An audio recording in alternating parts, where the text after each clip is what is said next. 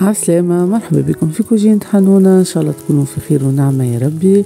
اليوم إن شاء الله باش نعملوا البقلاوة التركية أما في شكل آخر نصوركم شفتوه قبل يجي على هكا شكل سرة وراهي سهلة سهلة على الأخر. أول حاجة باش نستحقوا لها الباتشيلو أه تنجموا تشتريوها هنا عملتها في, في الدار وكيف العادة. أه سبق إني شاركت معكم الوصفة هي نفسها استعملتها. juste في بلاصة تحلوا الورقة على شكل دائرة أنا تحاولوا تعملوها الأكثرية كيف المستطيل وبالطبيعة ديما كي نستعملوا ال pâte filo لازم نحطوها في منديلة وناخذوا ال pâte وباش نحاولوا آه، نعملوها نثنيوها هكا نحطوا des plis سهلة راهي ما فيها حتى شيء.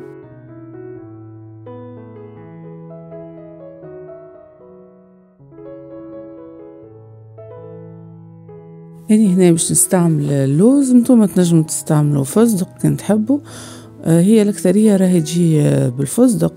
تبقى حتى باللوز فاوحة هذاك لوز juste محروش وحمرته شوية في في ال four. ومن بعد هما يزيدوا كريمة تبدأ عقدة شوية. شفت هكا فيديوهات نتاع أتراك. وباش نعطيكم الوصفة اللي لقيتها spéciale يعملوها بالسميد نشوفوا من بعضنا وصفة الكريمة. باش ناخذوا زوز كيسان حليب. هنا كاس تقريبا يعمل ميتين مليليتر. وباش يزيدوا عليه اشتر كاس تاي سميد. هنا استعملت سميد أرطب.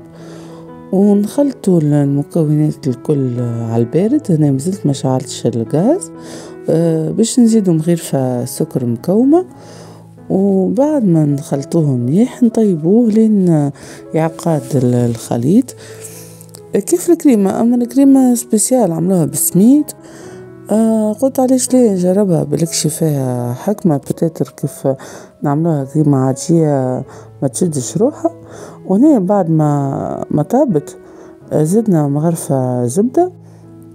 وباش نزيد ساشي سكر فاني وطبيعة مغرفتين زهر ما تنساوش ولا عطرشية نتوما والنكهة باش تفوحوا الكريمة هذه.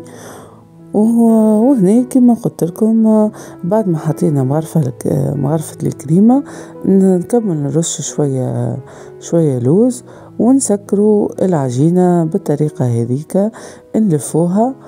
وبعد باش نكبسوها على جناب نبداو ننزلو هكا على الاطراف هي تلصق معناها بكل سهولة سورتو كان العجينة مخدومة في, في الدار.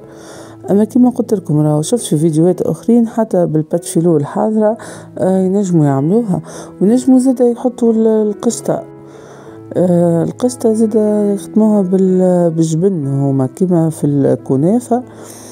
والفستق تظهر فيها حاجة عالمية. آه وبعد نقصوا الكعبات هذوكم بالسكينة ونقلبوهم من فوا قلبناهم نتحصلوا على الشكل هذاك. كيف الكوكياج يبدأ؟ والله هي منظرها مزيان.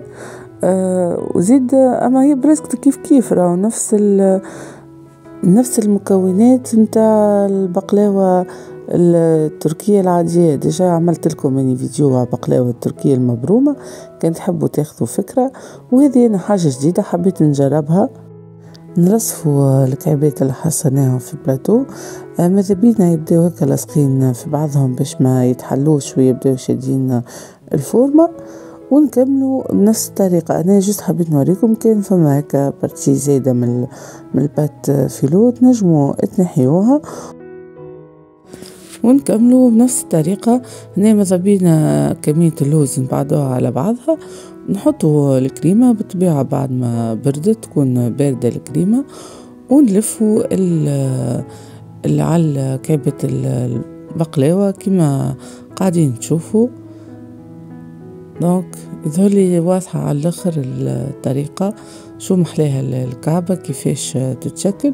وقد ما تحطوا بزايد فاكهة قد ما خير اني بالنسبة ليا أنا استعملت 300 جرام لوز مهروش. وتوا مش ندهنوها بالزبدة ماذا بينا تكون زبدة حيوانية؟ آه كان نجمتو علاش لا برنوازات البرنوازات ديما آه تعطي فيحة أخرى للحلويات من نوع هذايا. آه هي لا هي الزبدة الحيوانية نغليوها لين يتنحى الحليب اللي فيها. ندهنوهم مليح بالزبدة ونحطوهم في الفور هنا لين يحمروا. وبالنسبة للشعور ماذا بينا يكون شعور خفيف؟ نفسه راهو كما قلت لكم عملته في البقلاوة المبرومة. وماذا بينا نفوحوه؟ كان تحبوا بشوية قرفة آه، بشوية زهر. ولا عطرشية زادا حتى العطرشية تعطي قوة ياسر فاوح في البقلاوة. نشحروها وهي سخونة ماذا بينا العسل يكون دافي. نزينوها بشوية فستق وماذا بينا؟ نخليوها آه، تشرب بالكدا الشحور. وصلنا لنهاية الفيديو. آه، شكرا على المتابعة. آه، إن شاء الله يا ربي عجبتكم الفكرة. وتوا متبقى لي كي نقول لكم دمتم بخير وإلى اللقاء في وصفات أخرى إن شاء الله.